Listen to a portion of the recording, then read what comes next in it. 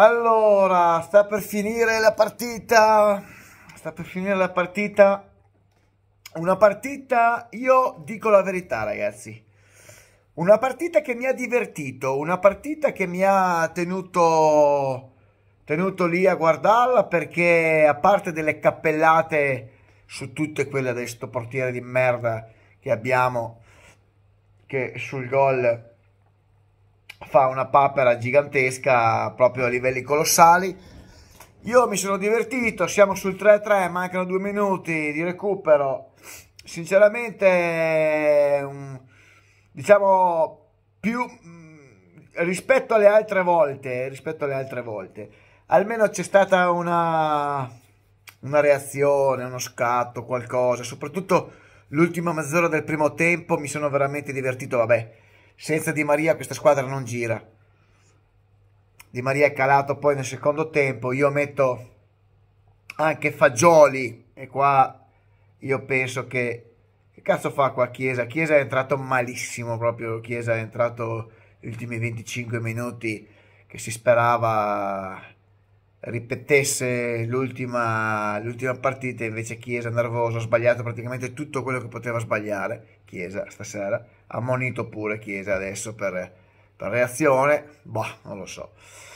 Eh, primo tempo sontuoso di Di Maria, metto anche Fagiolino, il mio Nicolò, che solo io l'ho tenuto dentro una bolla, diciamo, eh, quando tutti gli davano contro, io dicevo che questo ragazzo aveva le potenzialità per diventare un grande giocatore e, e infatti ci ho avuto ragione come sempre. Del resto e, ehm, il secondo tempo è andato un po' a calare tutto due gol subito lì all'inizio della ripresa ci siamo fatti imbambolare con un errore di Danilo in uscita e, e vabbè poi il gol di, di testa con la marcatura sempre di Danilo che non riesce a tenere praticamente Boga sulla fascia, un inizio shock nella ripresa.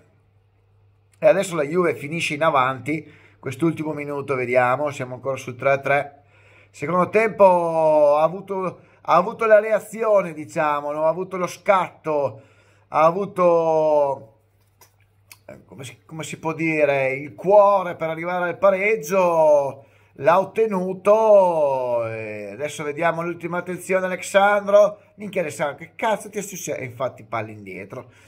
Ovviamente e seguiamo gli ultimi secondi ragazzi. Chiesa cross in mezzo cross in mezzo. Attenzione Miretti Miretti che sbaglia un gol ragazzi davanti alla porta. Mamma mia mamma mia ragazzi.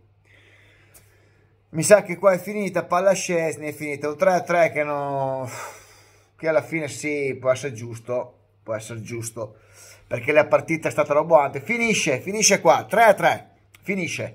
Un risultato giusto a mio modo di vedere, che vede un primo tempo dove l'ultima mezz'ora Juventus ha giocato veramente bene, mi sono divertito, ripeto, il secondo tempo sono calati un po' tutti, ma quando è calato Di Maria è calato un po' tutto il resto, diciamo. Oggi i ragazzi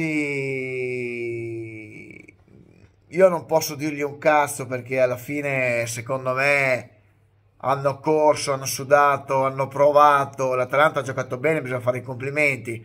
Un buon, buon controllo e possesso della palla. E ricordiamo che questi arrivavano da 13 gol fatti in due partite.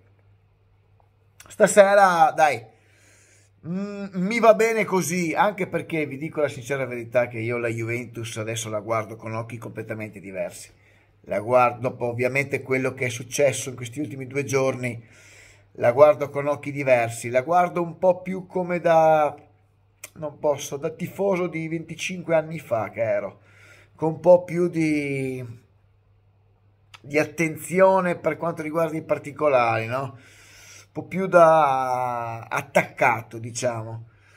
Anche se, anche se la guardo e guardo le partite con meno eh, esuberanza, ecco, la guardo un po' più a livello di calma, la guardo con un po' più di attenzione e meno da tifoso verace, ecco, quindi perché probabilmente tutte queste vicissitudini mi hanno tolto un po' di passione che, eh, che faceva parte del mio essere.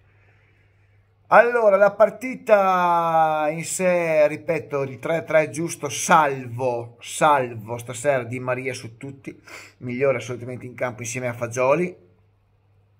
McKenna nel primo tempo mi è piaciuto. Male, secondo me, Danilo, a parte il gol su punizione, il resto male. Danilo. Eh, male Scesni Alexandro ha fatto qualche sfuriata, sì. Eh, secondo me Locatelli nel primo tempo in ombra, nel secondo tempo è un po' cresciuto perché ha alzato un po' il baricentro. Rabiot, solito cane. Milik nel primo tempo sponde sportellate, un gran gol di Milik. E eh, Kostic in ombra, Chiesa subentrato, fatto, ha fatto un cazzo che era disastro praticamente. E, e basta, ma Isaac Cannon non ha fatto un cazzo. 3-3 giusto ragazzi 3-3 giusto e si va avanti comunque sempre. Fino alla fine forza Juventus